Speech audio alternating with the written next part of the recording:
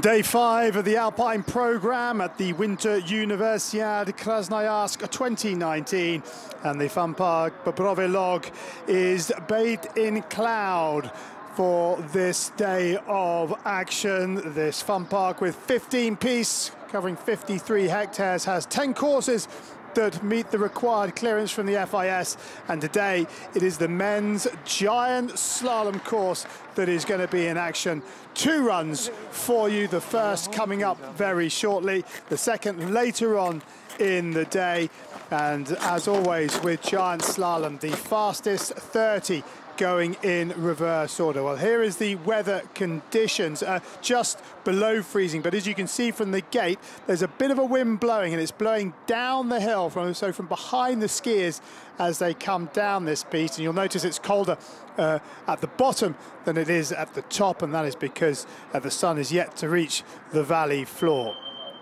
There is the course, 43 gates, 41 turning gates, two double gates. The first of the double gates coming uh, on the transition of the steep section onto the flatter section to allow the racers to carry as much speed as possible onto the closing third of the challenge.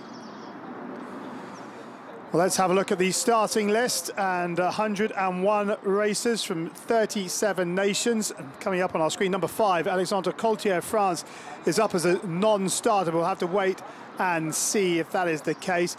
The top 15 in the men's giant slalom standing drawn at random in the top 15 uh, start numbers. Then 16 through to the end is based on the FIS ranking points. Yannick Chabloz then, number 28, was the winner of the Alpine combined way back on day three of this Alpine program. Switzerland have taken the first two gold medals on offer in the men's competition. Can they make it three from three or will another nation step up and take the top prize. Wakatsuki Hayata of Japan gets the men's giant slalom underway. The 20-year-old with three podiums in giant slalom all coming this season and a chance to have a look at these gates. It's very, very icy up there.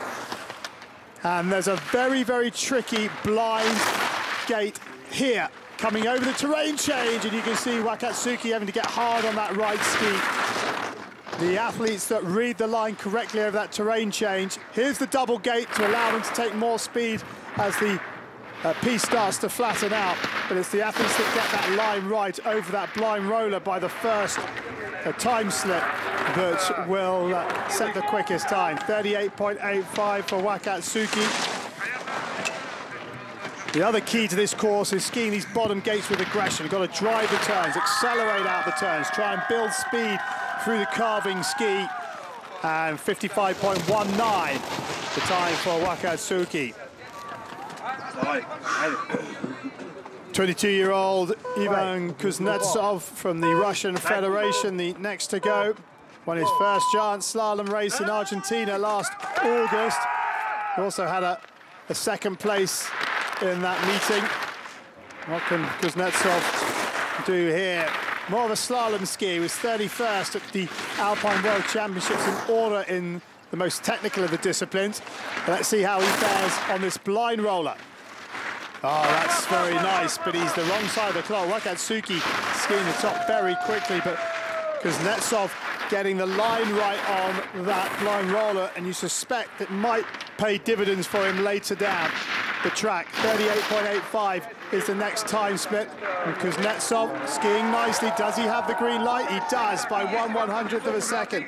So finds 0.44 on that steep section, but can he maintain the speed through these final turns? Kuznetsov driving as hard as possible. The local crowd cheering him in.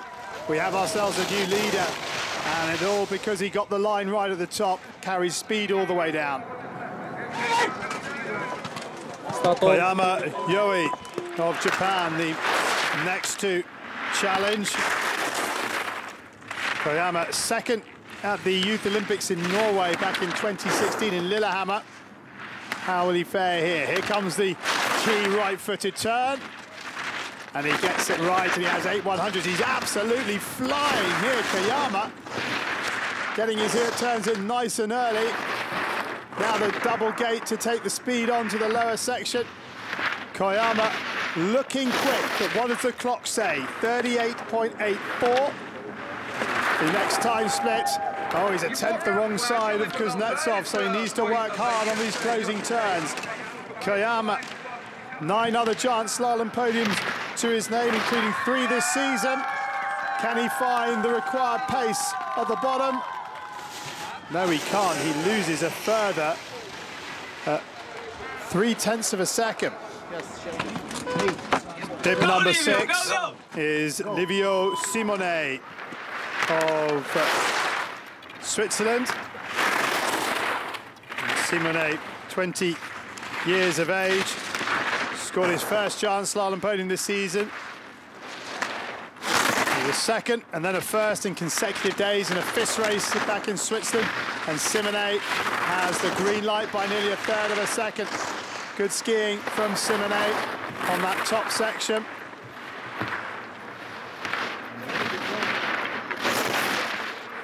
Getting nice and tight to those gates, trying to ski the most direct line, and he's increased the advantage by 9 one hundredths of a second to 0.37. Simonet for Switzerland, who have won both individual gold medals in the men's program here in Krasnoyarsk. Stops the clock, 54.87, well, he's lost half a second. Daniel Paulus of the Czech Republic, bib number seven from the Technical University of Ostrava, 24 years of age. Had a, a couple of firsts in slalom in FIS races in March of last year, but when it comes to GS, it's uh, not quite as fruitful for him. And Paulus.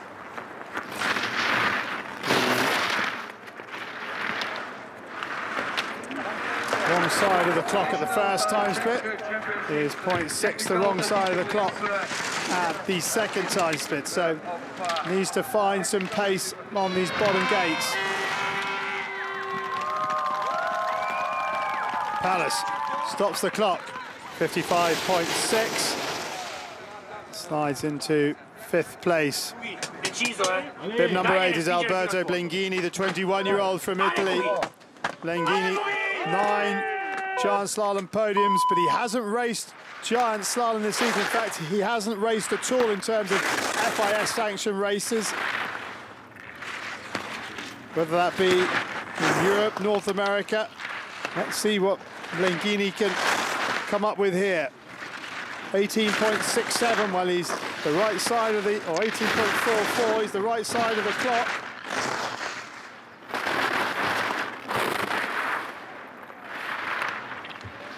Good from Blengini. Nicely done. What does the clock say? Does it like his turns? Well, is it absolutely level with Kuznetsov? Now Kuznetsov ski these bottom gates really nicely. Can Blengini, the Italian, match the power of the Russian in these closing turns? 54.73, he's going to be outside it, and he's outside it by some distance. 0.83 lost on those bottom turns.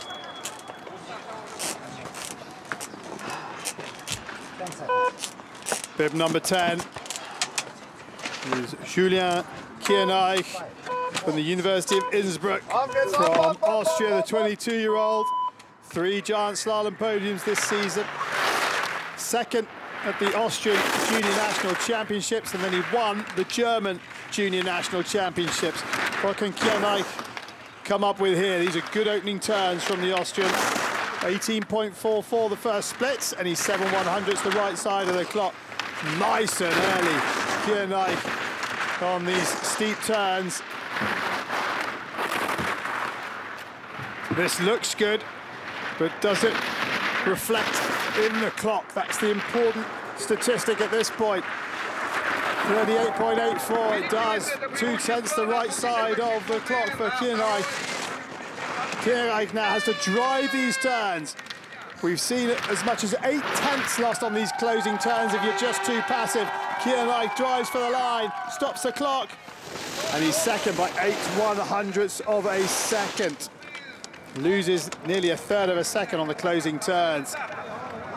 And it is the Russian Federation that leads the way. Ivan Kuznetsov from Julian Kienreich of Austria, Livio Simonet of Switzerland, the top three. The top three separated by only 14 one hundredths of a second. Now it's time for run two to see who will take home the gold medal, the third individual gold medal of the men's program to be decided here this afternoon. And the fastest 30 from the first run go in reverse order. Here is the conditions at the moment and as you can see we're above freezing but the wind uh, still blowing up at the top and it's coming from behind the racers as they tackle this second run. There is the view from the far side of the valley and there is the course profile, 41 gates, 39 turning gates. There are two double gates and the pattern set by one of the Italian coaches, Omar uh, Anzi. So 102 started the first race, 182 uh, finished it, and here is the starting list of the second race. Yannick Chabloz of Switzerland will get us underway, and he's trying to make up 2.96 seconds on our leader from the first run. All those times on the right, a deficit to our leader, who uh, is uh, wearing bib number three, Ivan Kuznetsov. There he is, 54.73. Sebastiano Andreas of Italy. He notched up the exact same time as our current leader, Paul Perrier, after the first run, so nothing in the bank for Andreas in this second run. It has to be full out attack. And he has found 17 hundredths at the first split. This is nice skiing from Andreas. If he can continue this, he should build on that green light. Can he find the inside edge of the turning ski? So far, so good. Lovely hip angle, almost sitting on the snow on that left-footed ski, and he's very, very, very late on that red gate. Somehow keeps it together, somehow still has the green light, but has that error taken any speed off of him on these flats? 0.62 the right side of the clock at the last intermediate, 157.62 the time to beat, and he's inside it, and inside it nicely. He finds 32 hundredths on the bottom, and it's all change in the winner's enclosure. Davide Barafaldi. His advantage over the leader, Sebastian Andreas, 0.12 of a second. Barafaldi is off, the 20-year-old, looking to try and put pressure on the seven skiers faster than him from the first run, still left at the top of the hill, but at the same time trying to reel in his teammates. Andreas, who leads the way, 0.17, so he adds five one hundredths of a second to the advantage. Barafaldi skied nicely in the first run from bib 24, outside the top 15, skied into the top eight. Top 15 the seeds in this giant slalom, so a good first run from Barafaldi. Can he back it up? Let's see what the second time split says. Yes, he can. He's found another two tenths, but he's got to drive this all the way home because otherwise it will go away from him. Barafaldi, can he find the sort of time that his teammate Can Cleany found on these bottom turns, which was nearly nine tenths of a second, skates for the line. He's in front. He lost time, 16 hundredths, but he's still on the top step of the podium. Italy go one and two. Daniel Paulus of the Czech Republic, nine one hundredths of a second, his advantage over our new leader, Davide Barafaldi. Paulus, the 24-year-old who was 10th in the Super G eh, back in Almaty two years ago at the 28th Winter Universiade, has seen his advantage drop from 900s to 700s as he comes onto this tricky steep section. The skid and bite technique employed on those very steep turns. Oh, and he gets the upper body twisted. Now, such is the steepness of the track in that part that the errors sometimes don't cost you as much as perhaps it might. And the next split time, he's only 0.16 off the pace. That is gettable in these closing turns, but you have to be aggressive. Got to try and accelerate out of the turn rather than just rolling onto the edge. And uh, Paulus can't quite do that. And he misses out on the top spot, goes third, 0.22 off the pace. Italy's final athlete in the top 15, Alberto Blengini, 0.13 of a second, his advantage over the leader in this second run, Davide Barafaldi of Italy. Italy currently sitting one and two. If Blengini can come home in the top three, they'll block out the podium for a while at least. And with some nice turns, 21 years of age, and he's extended his advantage to 0.24. Can he keep these nice turns going on the steep section? The Italians have obviously enjoyed this hill in giant slalom. These are great turns. So far, so good for Blengini.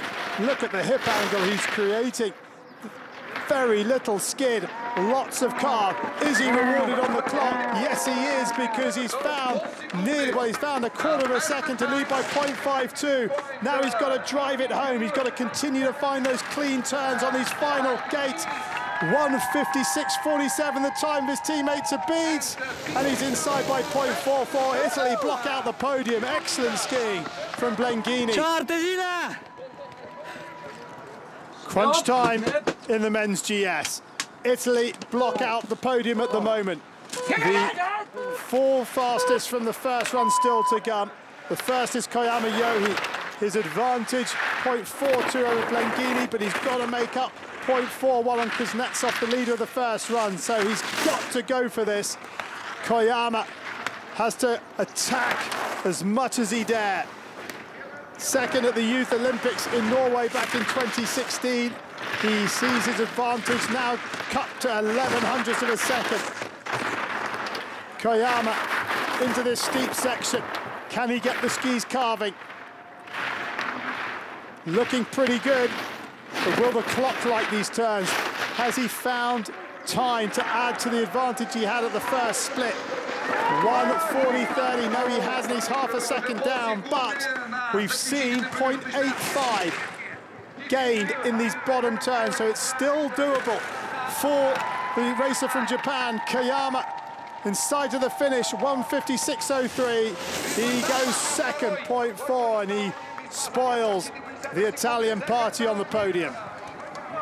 Livio Simonet of Switzerland, third quickest after the first run. His advantage over our leader, Alberto Blengini, 0.69 of a second. And Simonet will look to try and apply pressure. He was only 14 hundredths slower than Kuznetsov in the first round. 0.74, that's a huge error. Simonet, the error on the transition onto the steep section. But if he can keep it together, he might not lose as much time as he think. He was 0.74 up at that first intermediate. He might not lose that if he skis this cleanly, but he's late in the line. And Simonet has got into his mind that he's made that error and he's put on the panic button, but he's 0.14 off the pace. It's doable. It is absolutely doable for Simonet. Switzerland has taken the first two goals, the individual goals in the men's competition. They were hoping to make it three out of three, but I'm not sure it's going to be. No, he goes second. Blengini is guaranteed a medal, hence the high fives. Has a huge advantage over our current leader, Alberto Blengini, Kuznetsov the quickest racer from the first run with a time of 54.73. Can he deal with the pressure of having to see this through. A big, big advantage point, 8-3, but he can't afford to relax. He's got to attack. And out he goes, looking to win the Russian Federation's first medal of the men's alpine program. Kuznetsov is in full attack mode, isn't he, the 22-year-old? He won his first giant slalom race in Argentina last August. He was also second there, third in the Russian National Championships uh, last season, and he has added one one-hundredth of a second to his advantage on those opening turns. Kuznetsov, you'll know he's trained on this hill. Can he bring that knowledge to bear here? These are excellent turns from Kuznetsov. Look how high he is in the line, driving these turns. Surely the clock is going to reward him with a big green light at this next time split. 0.18, it doesn't. He's been a little heavy on the edge, and that four has lost nearly a three quarters of a second of his advantage. Kuznetsov needs to be aggressive on these final turns. 156.03 the time to beat to take the gold medal, and he does it by over half a second. Kuznetsov takes the Russian Federation's first medal of the men's program, and it is gold. Italy take the silver and Switzerland the bronze and Koyama Yohei Japan is the skier who misses out unfortunately in fourth place. Confirmation then of the men's giant slalom. Ivan Kuznetsov from the Russian Federation takes gold, a combined time of 155.51. Alberto Blengini of Italy takes silver, 0.52 slower than Kuznetsov. Simonet of Switzerland, the bronze, 0.7 slower than Kuznetsov. So time now for the flower ceremony. Livio Simonet of Switzerland picks up his nation's fourth medal in the men's alpine program.